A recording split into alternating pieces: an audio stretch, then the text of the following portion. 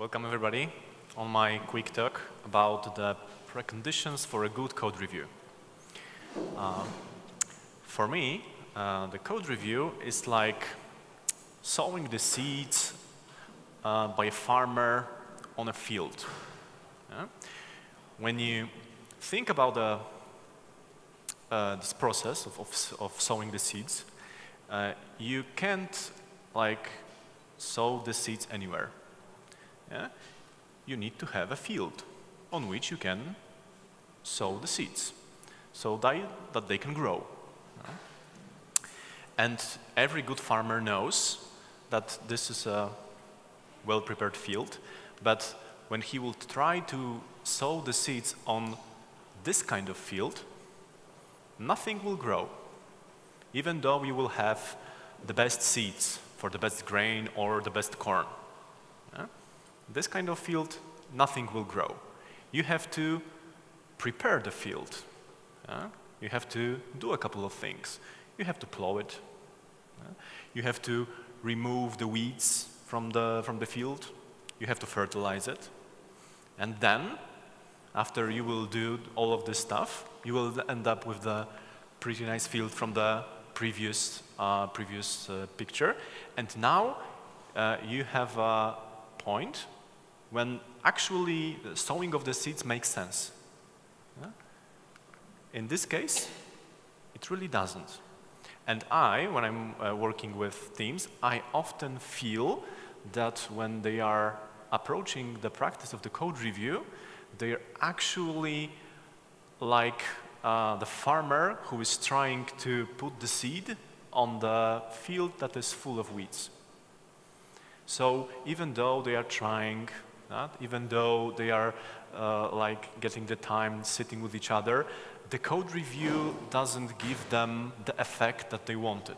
Yeah? The quality is not really much bigger. It's most cases pain in the ass.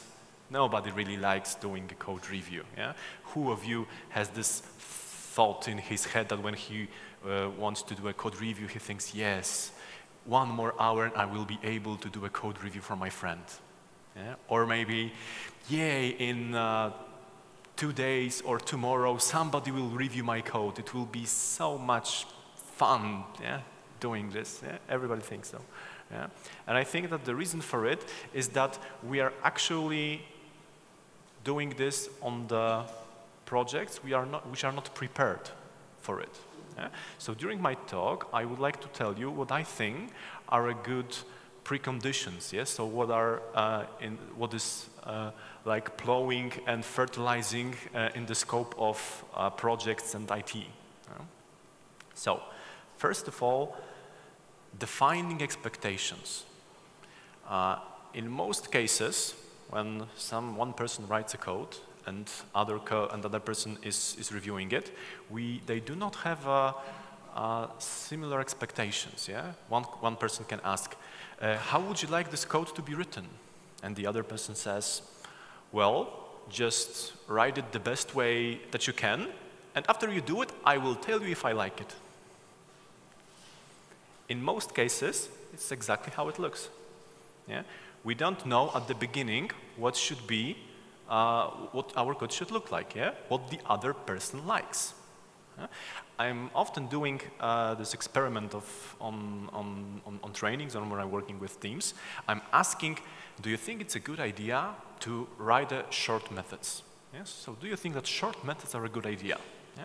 And basically everybody says, yes, of course, short methods are a good idea because they increase readability yeah, and they uh, conform to single responsibility principle and for sure we should write short methods. Yeah? And I say, yeah, great, everybody agrees.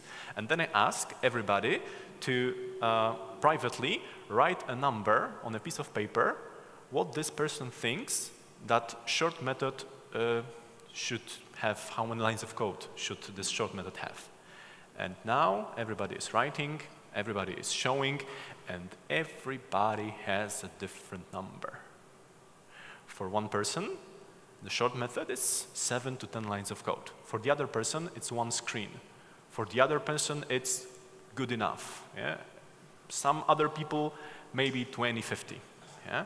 So if you don't have a clearly defined expectations about what do you think the, for example, yeah, the method length should be, then it's really hard to do a code review because you will just argue about uh, what is the actual length of the uh, of the method. Yeah, you can imagine that two people uh, like one thinks that short method is seven lines, the other thinks it's one screen.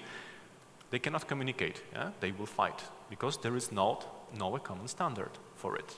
So, uh, I would like to show you a couple of common patterns that I see that mature teams uh, have created to mitigate a couple of those problems.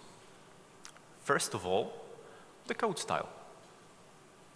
It's a trivial thing, but mostly, or basically, nobody has it. Or even if somebody has the code or some team has a code style somewhere in the wiki, nobody is really paying attention for it. And it's a really important thing for a healthy code style. Yeah?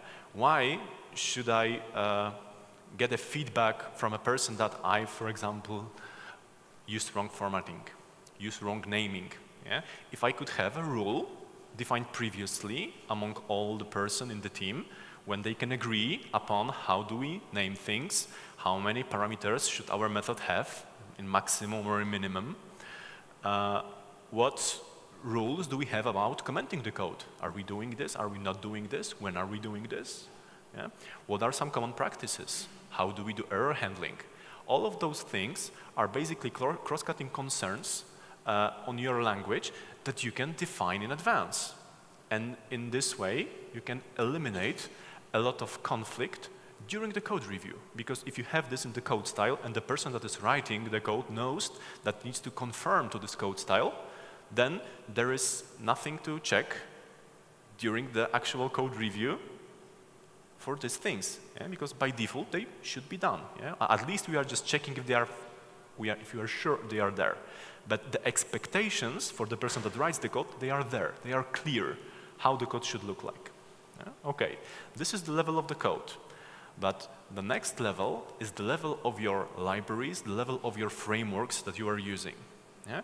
Uh, each framework, for example, in Java world, uh, I know, JEE, uh, Spring, or anything other that you are using, there are some best practices for doing some, some of those things. Yeah? Or there are some particular ways how you are doing it in your team. Documenting it in uh, the way of showcase. What I mean by showcase, mm, do anybody know about the sample pet clinic project for Spring applications? Yeah? I believe that each team should have this kind of pet clinic, uh, pet clinic project, so like a separate project, which is reference implementation for the default patterns that you are using across your application.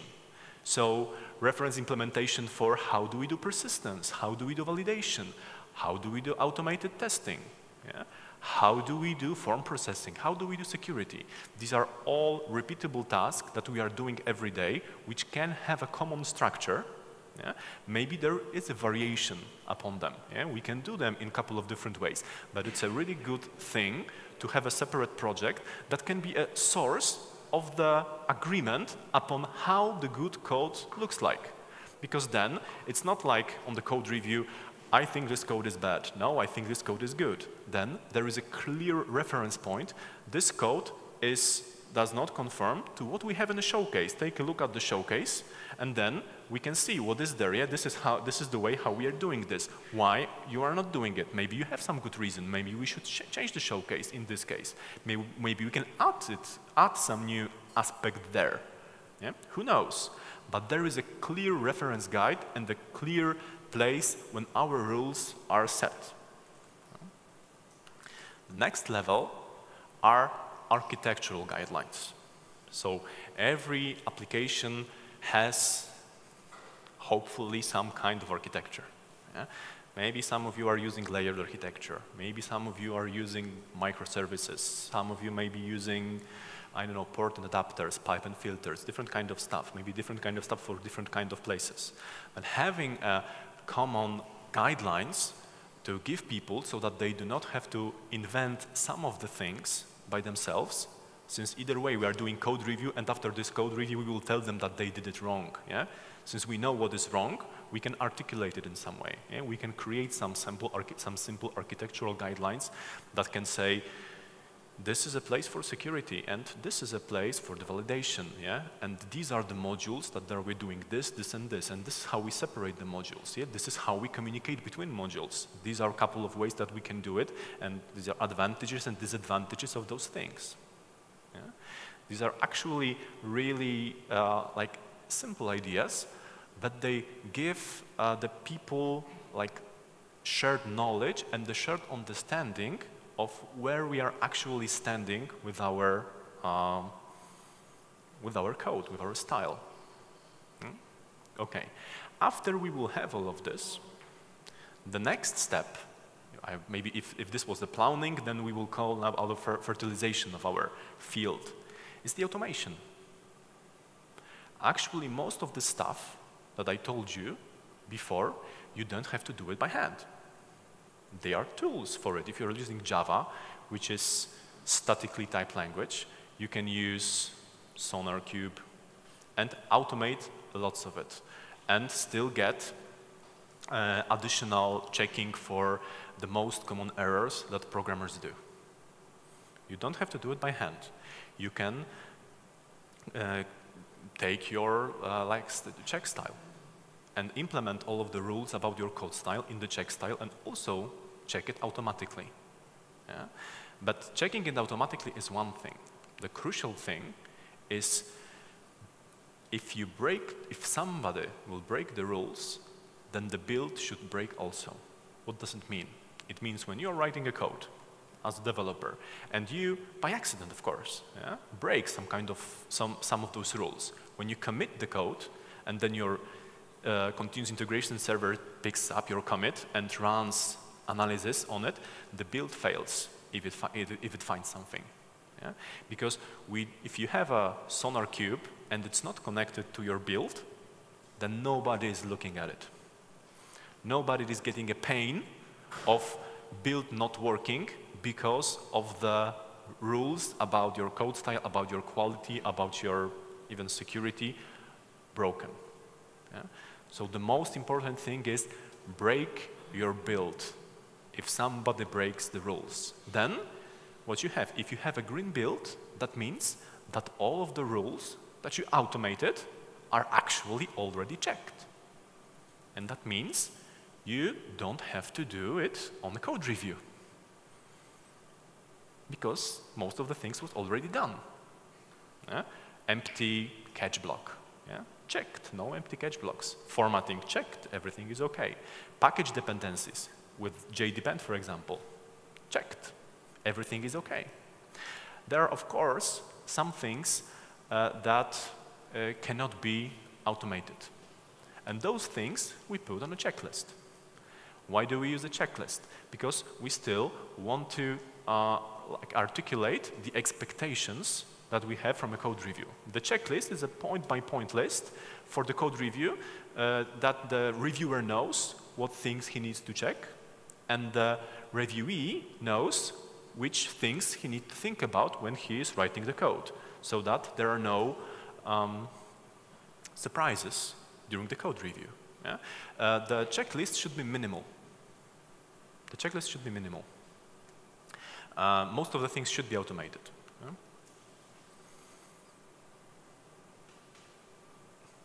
Shit. Okay, so now we can, after we have all of this, this is a place where the field is cleared, when we can start to uh, sow our seeds and expect them to grow. But the most important thing for the code review is that the process of code review is not about finding the bugs. It would be like saying, if, if I would say that, that code review is for finding the bugs, it would be like uh, I'm working as a programmer, I'm doing this soft only for money. Yeah? The money is of course important, but question is, is this the main reason for doing this stuff that we do, that we are getting up every day and going to work? Yeah? Maybe there is something interesting about it. The same approach uh, should be taken with the approach to code review. if you have all of those things, as I said, explicitly created with a code style, with architectural guidelines, with your showcase, and most of the things are automated, there is actually really nothing, uh, not really much to check during the code review. What you actually want to check is um, the readability of the code base. Yeah? Maybe the naming, the context, is it working as it's supposed to be? You can focus yourself on the design, on the exchanging the knowledge, how you solve the problem. Why did you solve the problem this way? Yeah? Why did you use this library and not that library? Yeah? I'm not trying to like tell you why your code sucks. I'm trying to learn from you and I'm letting you learn from me. Yeah? And this is the power of the code review, the approach that you are taking yeah? to learn from the other person and not to find him a bug and make him fix it. Okay, so these are the links. My name is Łukasz Szydło. And if you have some additional questions, uh, please come. I will be here for a couple of minutes. So thank you very much.